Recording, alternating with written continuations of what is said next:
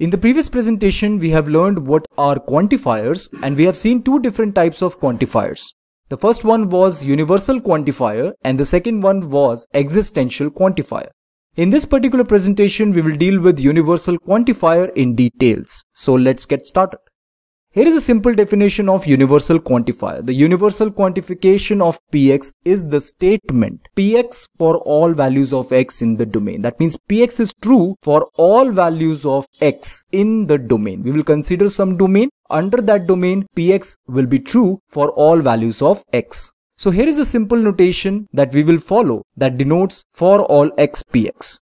So here this symbol is called universal quantifier. This particular symbol is called universal quantifier and here this is the way we denote for all x px. Okay, this is the way we read it for all x.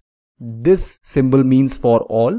We will simply write x and then we can say px or we can read this as for every x px. Now after understanding that what is the notation that we have to follow, here we should understand the meaning of domain.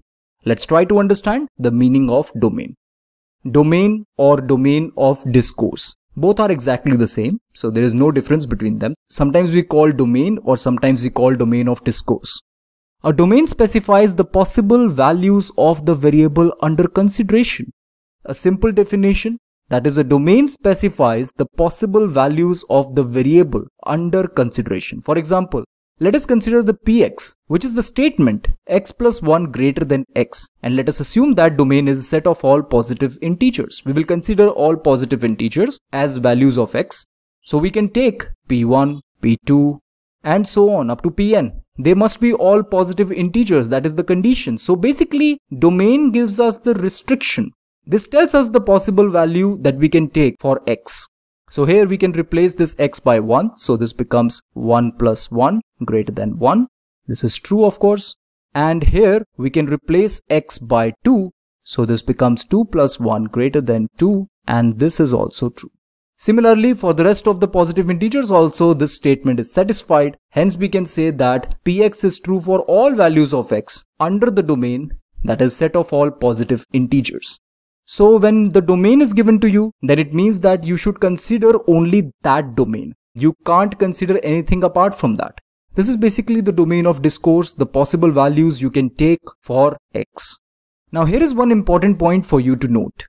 It is very important to specify the domain of discourse. Without specifying the domain of discourse, universal quantification of a statement is not defined. You should remember this that domain is very important. Without specifying it, our universal quantification will be null and void.